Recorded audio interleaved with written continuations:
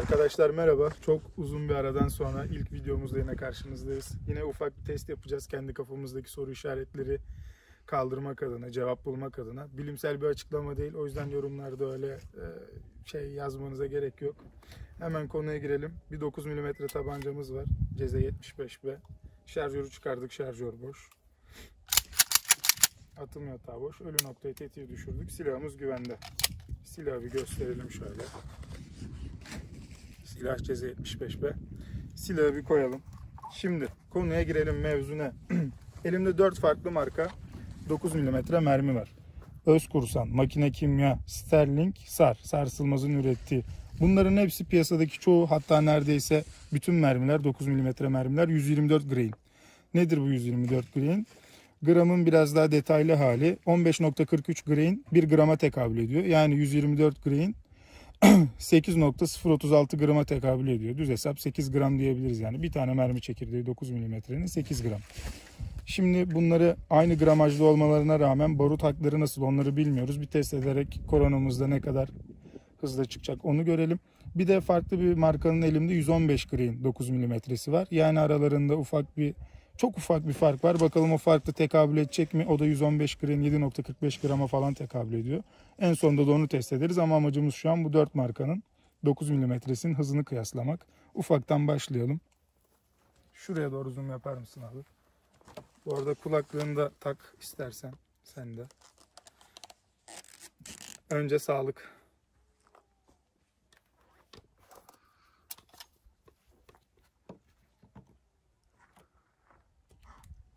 Öz kursandan başlıyorum. Oturalım biz de.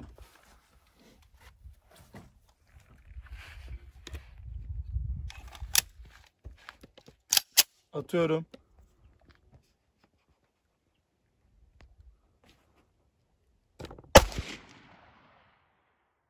Yedi yüz yirmi FPS. Bin seksen dokuz FPS. 1086 FPS.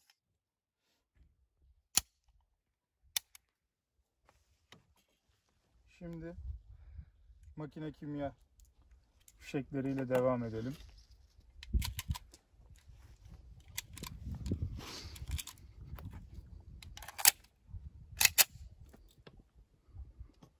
Atış var. 1117 Yok pardon 777 FPS. Full 7 olunca 1 ile karıştırdık. 696 FPS. Bu sefer de 1162 FPS çıktı. Aralarda afaki farklar var ya aynı mermilerde. Yerli mermi olunca böyle oluyor işte. Görmüş olduk. Şimdi de Sterling 3 tane.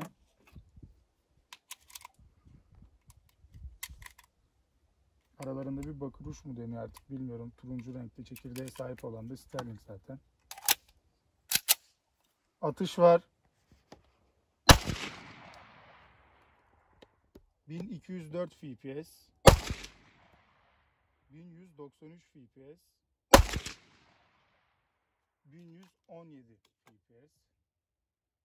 Pardon. 1178 FPS. Görüş açımız biraz dar. Bunları zaten not defterine not alıp videodan onun fotoğrafını da koyacağım. Şimdi de sarsılmazın sarpara 9 milimetresine geçtik.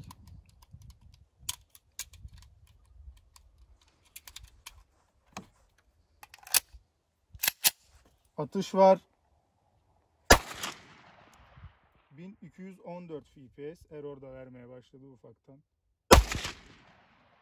1212 FPS 1210 FPS Şöyle gösterelim. Bitti hepsi. Ben not defterinde dediğim gibi videodan izleyip detaylı çıkış hızlarını farklı mermilerin 3'e bölerek 3 atış olduğu için yazacağım. Onların da fotoğrafını çekip ya da bir kısa videosunu çekip bu araya koyarım. Tabancamız, şarjörümüz boş. Atım yatağımız boş. Tetiğimizi düşürdük. Hiçbir sıkıntı yok. Arada yerli mermilerde kimilerinde ikisi birbirine yakın hızlarda çıkarken bir tanesi farklı düşük ya da yüksek hızlarda çıkma olayı yaşandı. Barut istihkakından ya da çekirdekten olabilir. Belki de kronodan ya da tabancadan da kaynaklanıyor olabilir. Şimdi diğer ZSR ile ilgili bir video çekelim.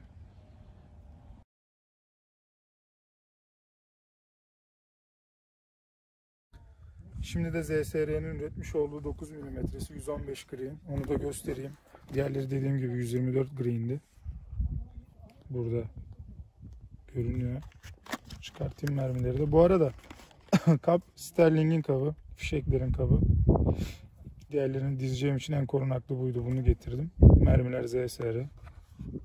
Arada çok çok çok az bir fark var. Bakalım yani bir değişikliğe sebep gösterecek mi? Onları da bir denemiş olalım elimizde fişek varken.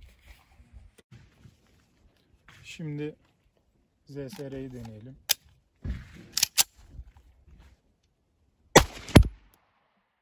...1046 FPS... ...1198 FPS... ...1187 FPS... ...sanki arada ufak bir fark var gibi ya. Yani gramaj çok ufak fark ediyor ama... ...bunları da not alırım. O şekilde paylaşırım.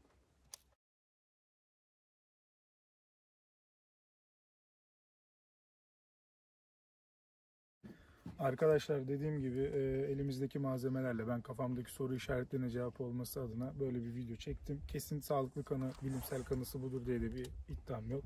Onu belirteyim. İnşallah başka videolarda görüşmek üzere. Herkese bol kazasız belasız isabetli atışlar dilerim.